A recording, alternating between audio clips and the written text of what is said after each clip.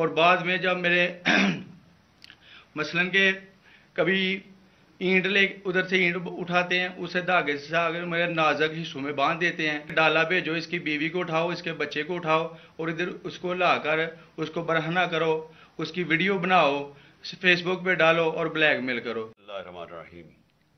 या या मेरे पाकिस्तानियों आज मैं एक, आपके सामने ये हंगामी जो मीडिया टॉक करने लगा हूँ, ये एक ऐसी खौफनाक और दर्दनाक और तकलीफ़ चीज़ है कि मैं समझा ये इंतज़ार नहीं कर सकती कल के लिए।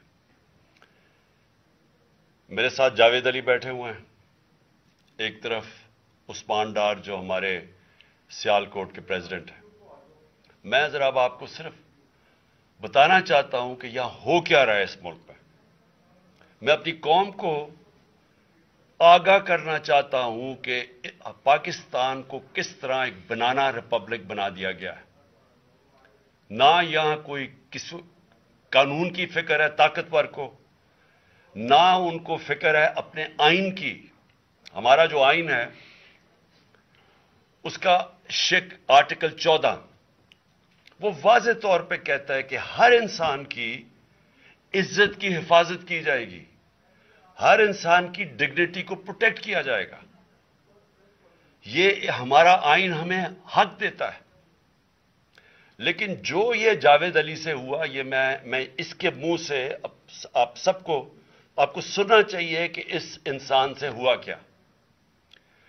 और मैं उसके बाद आपको बताऊँगा ये जब खत्म कर देंगे कि ये ये जावेद अली तो एक आदमी है जो सामने आ गया है।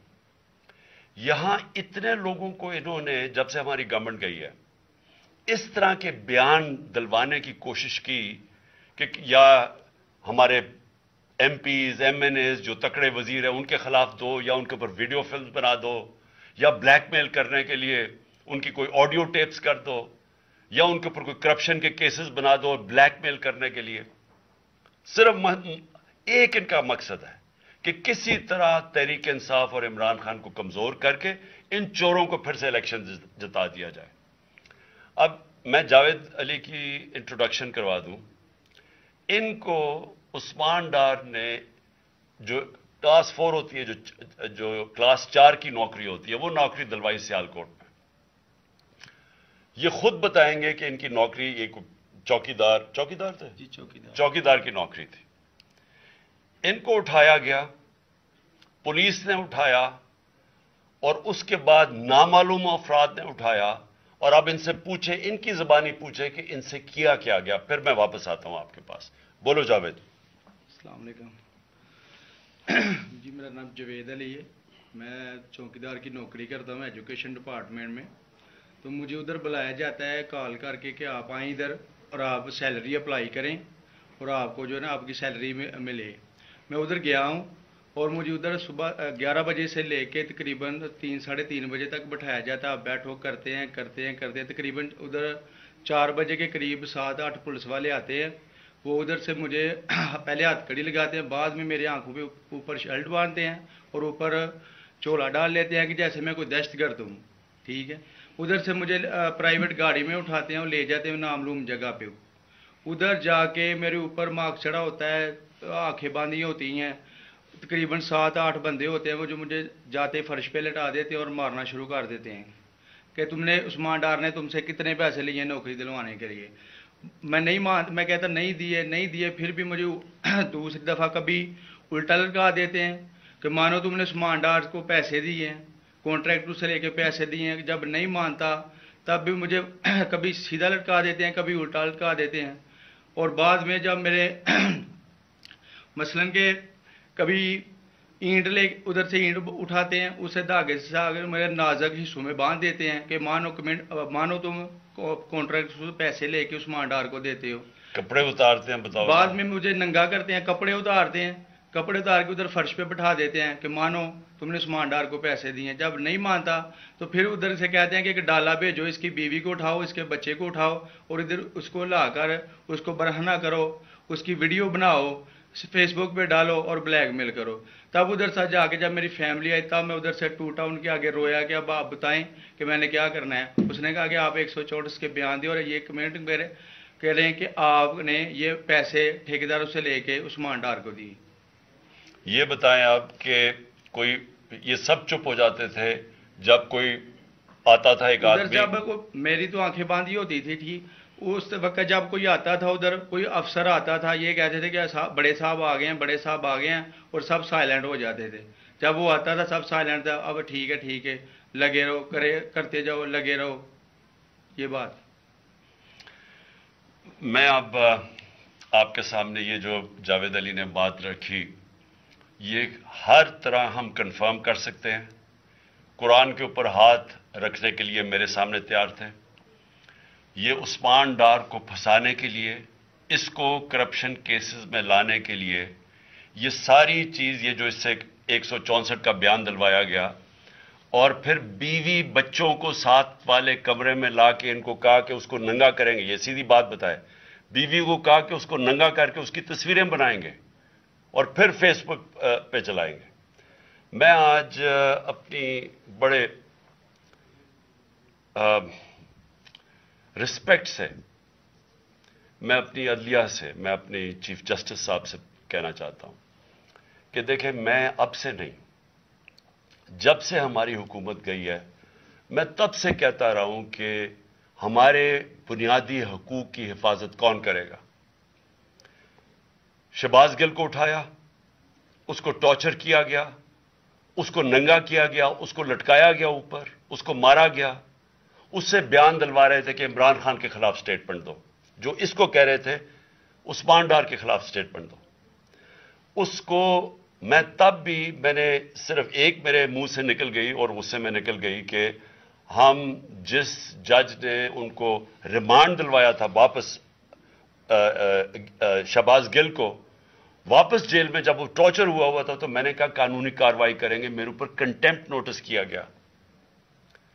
लेकिन कोई किसी ने एक कस्टोडियल टॉर्चर सारी दुनिया के अंदर मना है कस्टोडियल टॉर्चर के ऊपर कुछ नहीं हुआ।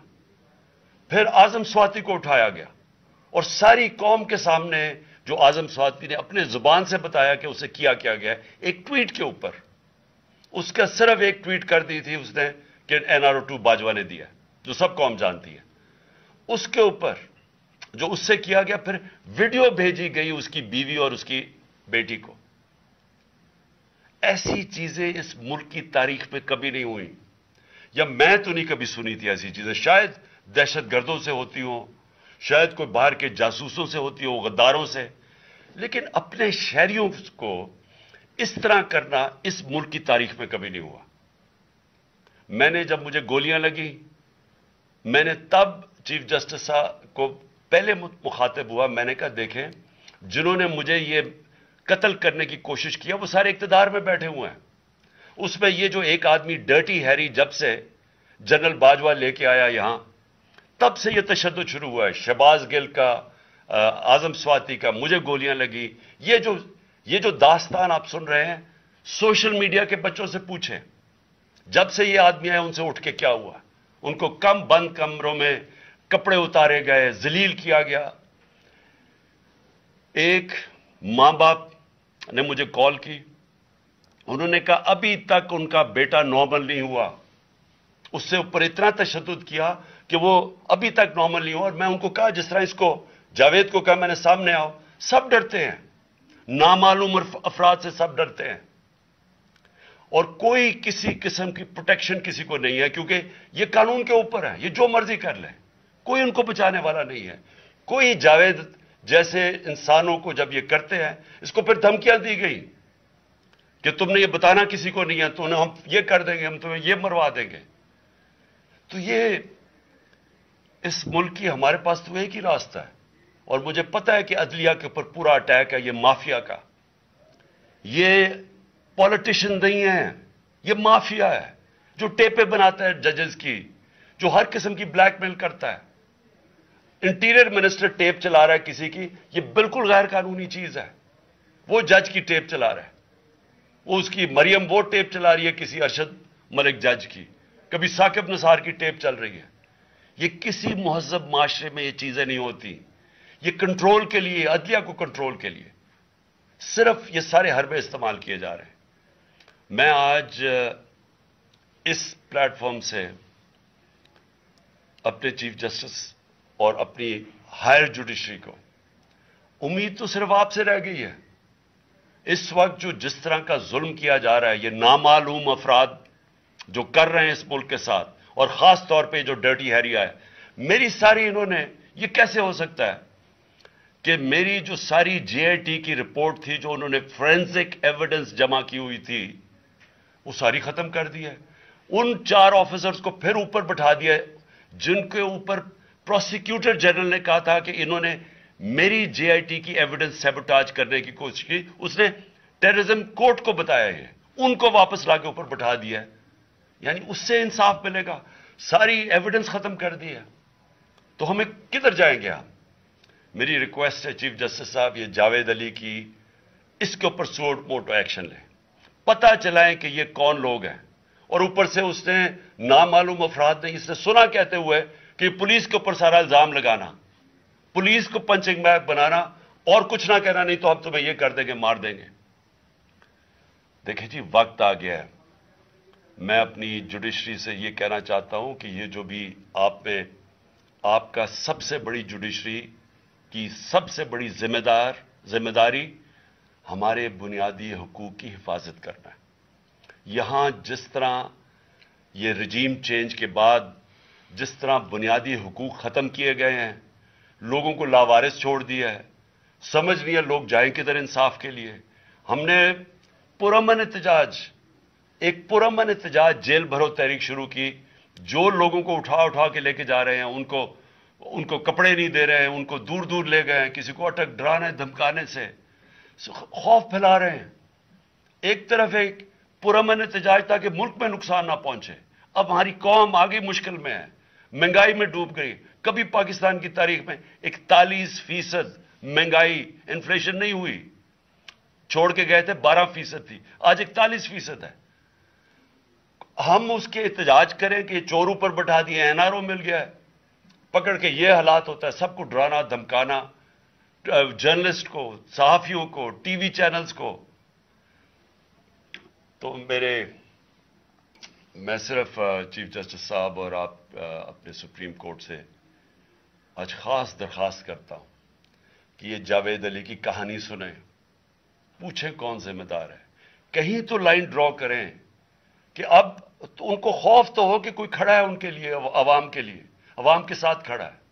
कोई तो एक्शन लें, ताकि अवाम को कोई हौसला हो कि हमारी अदलिया हमें बचाएगी। कौन बचाएगा जावेद?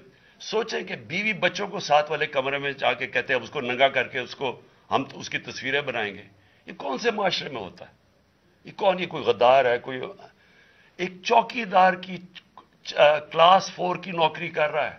उससे उठा के ये किया कि जी इसके खिलाफ एविडेंस थे कि वो जी कितना आपने इसके लिए कितनी, पता नहीं किधर से इसने क्लास फोर के चौकीदार ने पता नहीं कैसे पैसे बना के देने थे इसको, लेकिन कोई एविडेंस मिल जाए ताकि किसी तरह तहरीक इंसाफ का, जो सियालकोट का हमारा डिस्ट्रिक्ट डिस्ट्रिक्ट का प्रेसिडेंट है, उसको किसी तरह गंदा किया जाए और उसको किसी तरह नाहल किया जाए, किसी तरह एंटी करप्शन में आ जाए।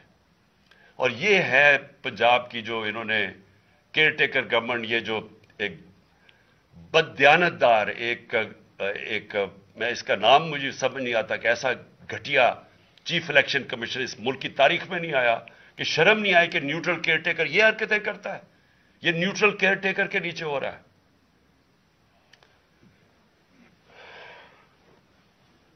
बहुत बहुत शुक्रिया।